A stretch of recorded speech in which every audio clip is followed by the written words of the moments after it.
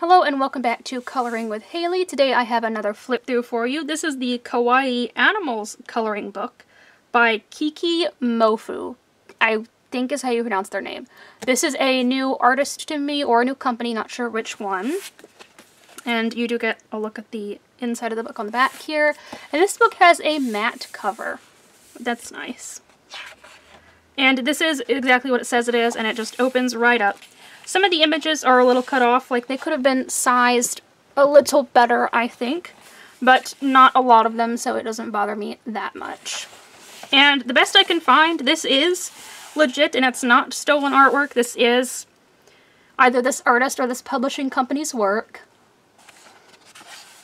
Got a cat here in the ocean. I always try to look at that and find out if it's, you know, a legitimate company or not. And it does seem, it does seem to be legitimate. So that's good to know. Got a pig here with all the desserts. We've got like a little fox or a little wolf reading. Unicorn. I like this book. It's simple. It's easy.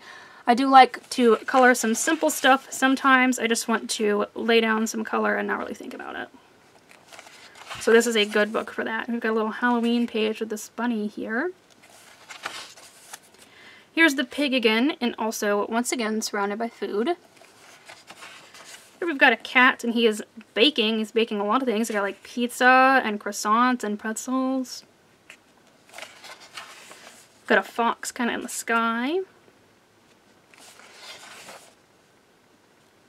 Like a little dog or a little bear the Unicorn. This is probably a book aimed at children, but that is completely okay with me. You've got a rabbit and a donut. I will absolutely color in it a ton. It doesn't quite matter to me. I've got a cat here with a bunch of fruit. We've got a dog here, like in space. That's cute. We've got a rabbits in a hat, like a magician's hat. We've got the little pig.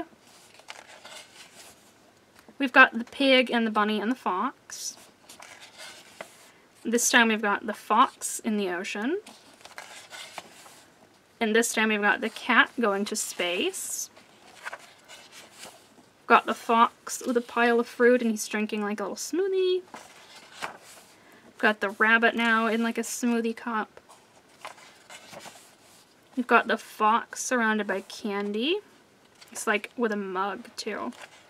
And that is the last page. Yeah.